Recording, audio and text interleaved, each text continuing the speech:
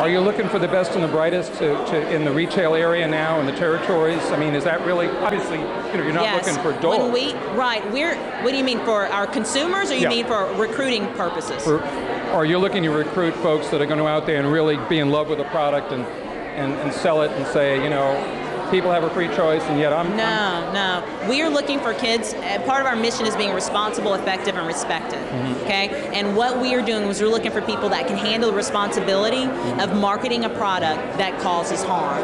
And in that means being responsible. It means making sure your accounts know to card everybody that comes through the store. it Wouldn't- means making sure that you don't put tobacco products on your counters Mm-hmm. so that children, it's at eye level for children. Those are the things that we try to do to be responsible.